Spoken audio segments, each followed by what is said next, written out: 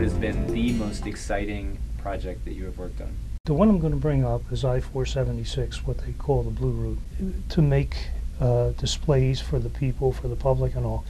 They'll a lot of times use a colored tape to approximate a line on top of an aerial photograph. And that's what they had done there. They had a yellow line, a red line, and a blue line. And the blue route was the one that was originally selected. It basically followed two creek valleys through, or two watersheds through Delaware County. Um, because it had the, least amount of impact on the local roads, the least amount of impact on the residential, which, if you're familiar with Delaware County, is very densely populated. It was a challenge because now you're going through environmentally sensitive areas that were subject to a lot of lawsuits and a lot of people watching to make sure that you were protecting the environment during construction.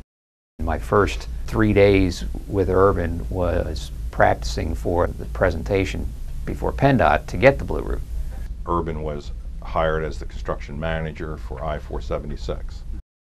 The whole concept of construction management as it exists at PennDOT was really, I, I think, a, a you know, a formulation of Joe McAtee and, and Al Alberts and work that they had done on the Schuylkill Expressway project. There were six different construction contracts, and they basically, we started construction on the first one in the fall of 87, and the last one started in June of 88. Uh, But they all basically had to get done at the same time because to open the whole thing, you had to have them all done. So there was a lot of coordination that way as far as keeping each one on schedule and did this one affect that one.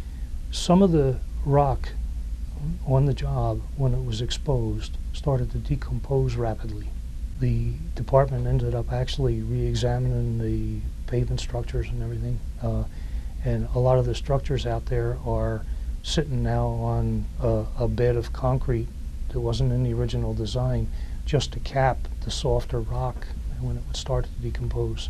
Harry Talley was head of the highway department back then. Harry Talley was probably the most dedicated individual. When we were doing the Blue Route, he would wake up in the middle of the night and he'd say, Oh my God, something is not right. He would get up in the middle of the night, right out to the Blue Route, and check what was out there to make sure that what he was doing was was correct. This is the this is the way Harry Talley was.